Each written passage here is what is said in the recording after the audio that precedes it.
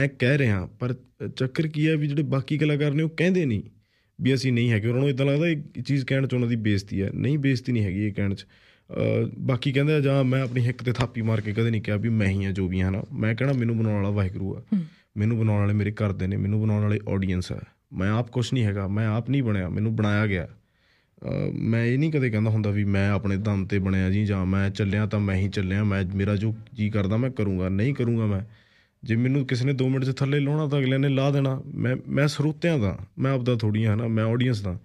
ਸੋ ਮੈਂ ਇਹੀ ਗੱਲ ਕਲੀਅਰ ਕਰਨਾ ਚਾਹੁੰਦਾ ਵੀ ਅਸੀਂ ਕੋਈ ਬਦਮਾਸ਼ ਨਹੀਂ ਹੈਗੇ, ਅਸੀਂ ਸਿਰਫ ਲਿਖਣ ਵਾਲੇ ਆ ਮੈਂ ਆਮ ਜਿਹਾ ਇਨਸਾਨ ਆ ਹਾਂ, ਜੇ ਕੋਈ ਮੂਹਰੇ ਔਖਾ ਹੁੰਦਾ ਜਾਂ ਮੇਰੇ ਨਾਲ ਕੋਈ ਆਪਣੀ ਬੇਇਨਸਾਫੀ ਕਰਦਾ ਜਾਂ ਕੁਝ ਹੁੰਦਾ ਤਾਂ ਮੈਨੂੰ ਆਵਾਜ਼ ਉਠਾਉਣਾ ਮੈਨੂੰ ਆਉਂਦਾ।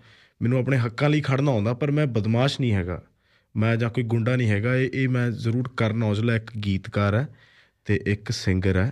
ਕੋਈ ਬਦਮਾਸ਼ ਜਾਂ ਗੁੰਡਾ ਜਾਂ ਫੋਕਰਾ ਨਹੀਂ ਹੈਗਾ। ਮੈਂ ਸਿਰਫ ਆਪਣਾ ਕੰਮ ਕਰ ਰਿਹਾ, ਮੇਰਾ ਉਹਦੇ ਤੇ ਫੋਕਸ ਹੈ। ਦੈਟਸ ਇਟ ਮੈਂ ਸਿਰਫ ਚਾਹੁੰਦਾ, ਮੈਂ ਜੇ ਮੈਂ ਜੇ ਇਦਾਂ ਦੇ ਗਾਣੇ ਲਿਖੇ ਨੇ ਵੀ ਜੱਟ ਦੀਆਂ ਦਿੱਤੀਆਂ ਬਣਾ ਕੇ ਝਾਂਜਰਾਂ ਜਾਂ ਜੋ ਵੀ, ਜਾਂ ਮੈਂ ਇਦਾਂ ਦੇ ਗਾਣੇ ਲਿਖੇ ਵੀ ਪਾਪੀਆਂ ਦੇ ਲੈਣਾ ਡ੍ਰੀਮ ਬਲੀਏ ਤਾਂ ਮੈਂ ਇਦਾਂ ਦੇ ਗਾਣੇ ਵੀ ਲਿਖੇ ਨੇ ਵੀ ਇੱਕ ਤੋਂ ਇੱਕ ਨੇ ਰਹੇ ਜੋ ਵਿਕ ਨੇ, ਪੈਸੇ ਨੇ ਪਾਤੇ ਜੀ ਯਾਰਾਂ 'ਚ ਫਿੱਕ ਨੇ। ਬੇਬੇ ਬਾਪੂ ਨੂੰ ਟਾਈਮ ਜੀ ਦੇ ਦੋ ਮੈਂ ਮਿਲਣਾ ਚਾਹੁੰਦਾ, ਮਿਲ ਨਹੀਂ ਪਾਇਆ। ਮੈਂ ਇਦਾਂ ਦੇ ਗਾਣੇ ਵੀ ਲਿਖੇ ਨੇ ਮੈਂ ਇਦਾਂ ਦੇ ਗਾਣੇ ਵੀ ਲਿਖੇ ਨੇ ਕਰ ਤਾਂ ਸਕਦੇ ਆ ਸਾਨੂੰ ਲੋੜ ਨਹੀਂ। ਮੈਂ ਸਾਰਾ ਕੁਝ ਲਿਖਿਆ ਸੋ ਥੋੜਾ ਜਿਹਾ ਉਹ ਚੀਜ਼ਾਂ ਵੱਲ ਵੀ ਧਿਆਨ ਦਿਆ ਕਰੋ। ਜੇ ਇਹ ਵੀ ਤੁਸੀਂ ਇੰਜੋਏ ਕਰਦੇ ਹੋ ਪਰ ਮੈਨੂੰ ਇਹ ਪੱਕਾ ਪਤਾ ਵੀ ਜਿਹੜੇ ਮੈਂ ਦੂਜੇ ਕਰਦਾ ਵੀ ਪਾਪੀ ਦੇ ਲੈਣਾ ਡ੍ਰੀਮ ਬਲੀਏ ਉਹ ਤੁਸੀਂ ਜ਼ਿਆਦਾ ਇੰਜੋਏ ਕਰਦੇ ਹੋ ਕਿਉਂਕਿ ਮੇਰਾ YouTube ਦਾ ਰੈਵਨਿਊ ਮੇਰੇ ਕੋਲ ਹੈ। ਮੈਨੂੰ ਮੈਨੂੰ ਪਤਾ ਕਿਹੜੀ ਚੀਜ਼ ਜ਼ਿਆਦਾ ਚੱਲ ਰਹੀ ਆ। ਸੋ ਮੈਂ ਤਾਂ ਆਬਵੀਅਸਲੀ ਉਹੀ ਚੀਜ਼ ਕਰੂੰਗਾ ਜੀ ਮੇਰੇ ਜਵਾਕ ਵੀ ਹੋਣੇ ਅੱਗੇ। ਹਾਂ ਬਿਲਕੁਲ।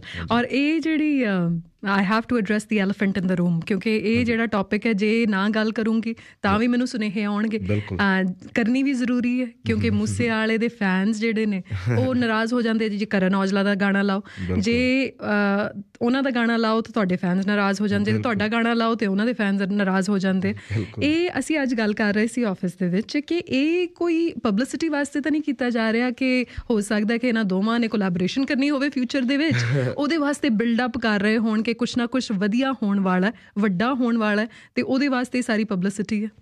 ਪਬਲਿਸਿਟੀ ਤਾਂ ਕੋਈ ਨਹੀਂ ਜੀ, ਆਪਣੇ ਵੱਲੋਂ ਤਾਂ ਕੋਈ ਪਬਲਿਸਿਟੀ ਨਹੀਂ ਹੈਗੀ। ਬੜਾ ਆਪਣਾ ਤਾਂ ਇਦਾਂ ਹੀ ਆ ਵੀ ਜਦ ਕੋਈ ਬੰਦਾ ਥੋੜਾ ਜਿਹਾ ਅਗਲੇ ਨੂੰ ਇਦਾਂ ਹੋ ਜਾਂਦਾ ਨਾ ਥੋੜਾ ਅੰਡਰ ਐਸਟੀਮੇਟ ਕਰ ਲੈਂਦੇ ਵੀ ਇਹਨਾਂ ਦਾ ਕਿਹੜਾ ਕੋਈ ਹੈਗਾ, ਨਾ ਕੋਈ ਇੰਡੀਆ, ਨਾ ਇੱਥੇ ਆ, ਵੀ ਉਹੀ ਰੋਲ ਦਾਂਗੇ ਆ ਕਰ ਲਾਂਗੇ। ਇਦਾਂ ਨਹੀਂ ਕੋਈ ਰੋਲਦਾ ਹੁੰਦਾ। ਇਹ ਸਿਰਫ ਵਾਹਿਗੁਰੂ, ਸੱਚਾ ਪਾਤਸ਼ਾਹ, ਪਰਮਾਤਮਾ ਜੀ ਨੇ ਰੋਲਣਾ ਸਾਨੂੰ। ਕੋਈ ਬੰਦੇ ਦੀ ਜ਼ਮੀਰ ਨਹੀਂ ਹੈਗੀ ਏਡੀ ਵੀ ਸਾਨੂੰ ਕੋਈ ਆ ਕੇ ਰੋਲ ਦੂਗਾ। ਇਹ ਤਾਂ ਰੱਬ ਹੀ ਇਹ ਕਰਨ ਵਾਲਾ ਜਿੱਦਨ ਕੁਝ ਹੋਣਾ, ਹੋ ਜਾਣਾ ਜੀ। ਇਹਨੂੰ ਕੋਈ ਨਹੀਂ ਰੋਕ ਸਕਦਾ। ਪਰ ਮੈਨੂੰ ਇੰਨਾ ਮੇਰੇ ਤੇ ਯਕੀਨ ਆ ਵੀ ਕੋਈ ਕਹਿ ਦੂਗਾ ਮੈਂ ਤੈਨੂੰ ਰੋਲ ਦੂੰਗਾ ਤਾਂ ਇੰਨੀ ਛੇਤੀ ਤਾਂ ਨਹੀਂ ਮੈਂ ਰੋਲਦਾ। ਵੀ ਇੱਕ ਵਾਰੀ ਦਾ ਗਾਹ ਤਾਂ ਮੈਂ ਵੀ ਪਾ ਸਕਦਾ ਕੋਈ ਚੱਕਰ ਨਹੀਂ। ਹੁਣ ਫਿਲਮਾਂ ਦਾ ਵੀ ਪਲਾਨ ਬਿਲਕੁਲ ਹੈਗਾ ਜੀ। ਬਸ ਰਾਈਟ ਸਕ੍ਰਿਪਟ ਜਿਹੜੀ ਹੈ ਲੱਭ ਰਹੇ ਹਾਂ। ਇਸ ਵਾਰ ਇੰਡੀਆ ਗਏ ਸੀ ਵਧੀਆ ਟੂਰ ਰਿਹਾ ਬਹੁਤ 4 ਮਹੀਨੇ ਦੇ ਵਿੱਚ ਬਹੁਤ ਵਧੀਆ ਵਧੀਆ ਸ਼ੋਜ਼ ਕੀਤੇ। ਜਿਨ੍ਹਾਂ ਬਾਰੇ ਕਦੇ ਸੋਚਿਆ ਵੀ ਨਹੀਂ ਸੀ। ਉਹ ਚੀਜ਼ਾਂ ਹੋਈਆਂ ਐਤਕੀ ਇੰਡੀਆ ਜਿਨ੍ਹਾਂ ਬਾਰੇ ਮੈਂ ਤਾਂ ਕਦੇ ਸੋਚਿਆ ਨਹੀਂ ਸੀ ਜਿਹੜੇ ਮੈਨੂੰ ਲੱਗਦੇ ਉਹਨਾਂ ਨੇ ਵੀ ਨਹੀਂ ਸੀ ਸੋਚਿਆ ਕਦੇ ਵੀ ਇਹ ਕਰੂਗਾ।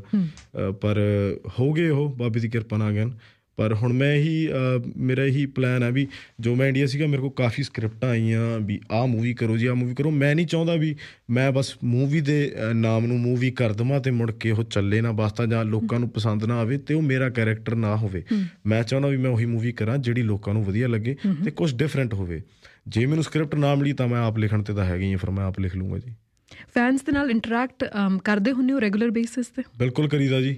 ਮੈਂ ਇੰਸਟਾਗ੍ਰam ਲਾਈਵ ਲੂਵ ਘੱਟ ਦਿੰਦਾ ਜਿਹੜੀ ਕਿ ਮੇਰੀ ਇੱਕ ਵੀਕਨੈਸ ਹੈ ਮੈਂ ਬਹੁਤ ਘੱਟ ਦਿੰਦਾ ਕਿਉਂਕਿ ਮੈਂ ਆਪਣੇ ਬਾਰੇ ਲੋਕਾਂ ਨੂੰ ਦੱਸਦਾ ਨਹੀਂ। ਮੈਂ ਬਹੁਤ ਘੱਟ ਦੱਸਦਾ ਪਰ ਜਿਹੜੇ ਲੋਕ ਦੱਸਦੇ ਆ ਆਪਣੇ ਬਾਰੇ ਉਹ ਕਾਮਯਾਬ ਨੇ ਹਨਾ? ਚਲੋ ਕਾਮਯਾਬ ਮਾੜੇ ਮੋਟੇ ਅਸੀਂ ਵੀ ਹੋਗੇ ਜੋ ਵੀ ਆ।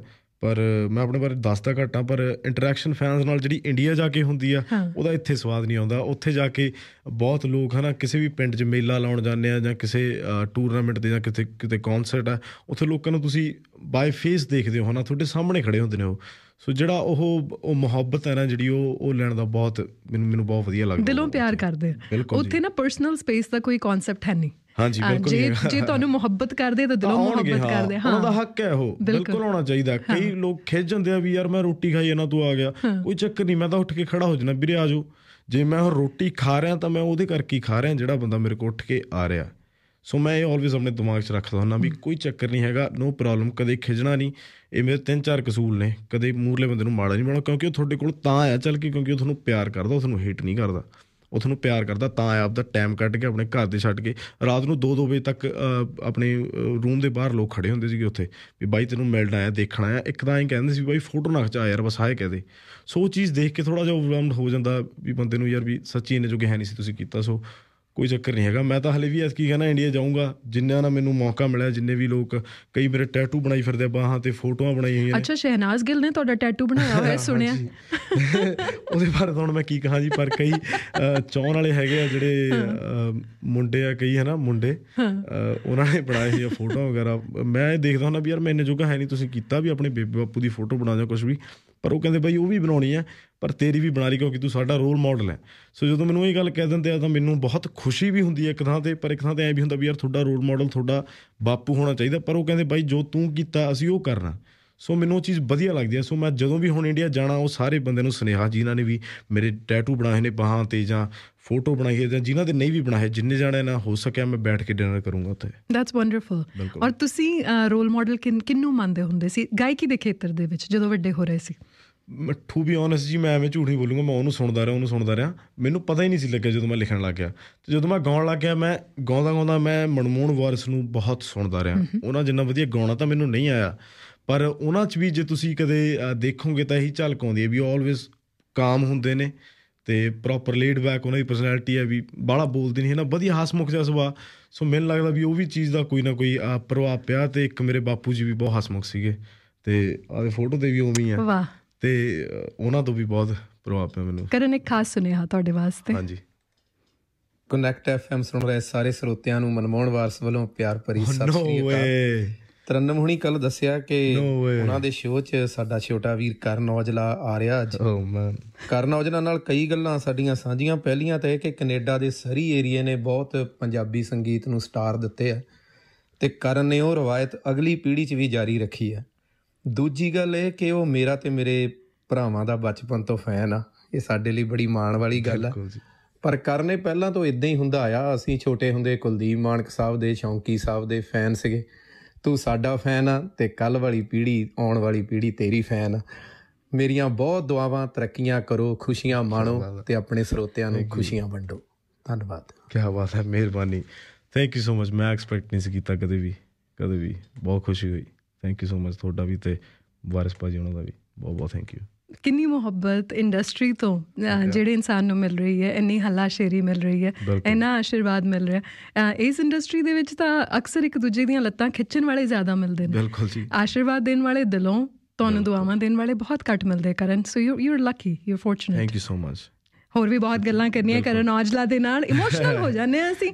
ਮਿੰਟ ਮਿੰਟ ਬਾਅਦ ਪਤਾ ਨਹੀਂ ਕਿਉਂ। ਥੋੜੇ ਜਿਹੇ ਸੁਨੇਹੇ ਉਸ ਤੋਂ ਬਾਅਦ ਵਾਪਸ ਆਉਂਦੇ ਹਾਂ। ਇਸੇ ਤਰ੍ਹਾਂ ਸੁਣਦੇ ਰਹੋ ਕਨੈਕਟ ਐਫਐਮ 91.5 ਅਸਲੀ ਰੇਡੀਓ। ਕਰਨ ਔਜਲਾ ਦੇ ਨਾਲ ਅੱਜ ਦੀ ਖਾਸ ਮੁਲਾਕਾਤ ਸਪਾਂਸਰ ਕੀਤੀ ਹੈ ਥਿੰਕ ਇੰਸ਼ੋਰੈਂਸ ਦੇ ਪਰਮਿੰਦਰ ਥਿੰਦ ਨੇ। Be right back ਜਿਸ